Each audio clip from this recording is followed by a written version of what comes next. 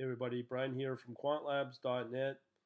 Okay, so uh, let me show you a couple of charts here. The This code I'm about to show you comes from this book, Python in Finance, page 107. So I'm in Spyder here, which is not obviously my usual PyCharm. Previous video I explained that before, but the nice thing is that it's easier to use this uh, mat Plotlib Finance. Um, and from what I gather here, it's very easy to grab uh, your Yahoo data using this line, create some subplots, and there's various um, plots I can show you. There's a candlestick, and then there is the uh, plot day, which is this one right here. A couple things about learning about Spyder, it's different outputs. You have the console, and then you have the IPy console, which I've kind of highlighted in previous videos a while back using Python, but uh, most uh, books that I've been looking at are using this exact stack of Spyder with the IPython console as the output. So let me just show you basically how this code runs.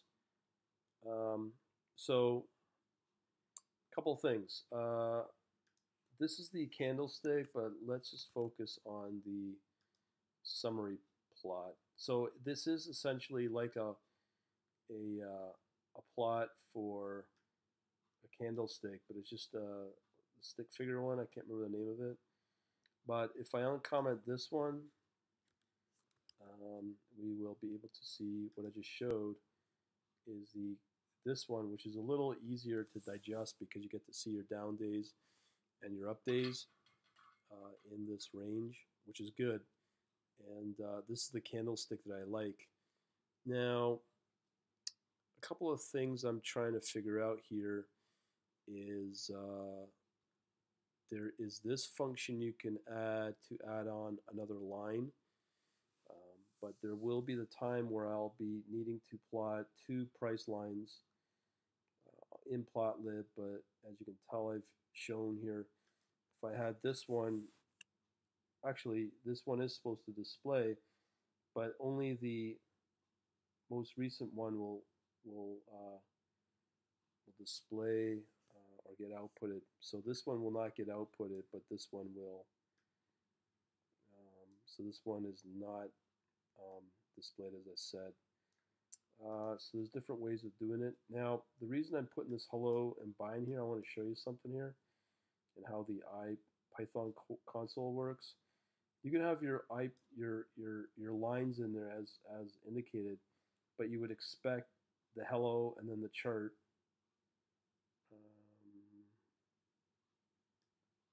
which I think this one displays it, but I'm not sure. Um, let me just uh, try something here. Uh, okay. Gonna get rid of that one. Just simple stuff like this as you play and learn. Okay. So you can still have the same problem where it's print hello, print bye, but the very last thing that gets outputted is the the actual chart. So things you learn. Okay, just thought I'd show you. Uh, the coding is quite easy to output uh, candlesticks. Um, again, the next question is how to plot two price lines and a trend line, um, just as a comparison. It's something I'm looking to do as it sits right now. Wish me luck.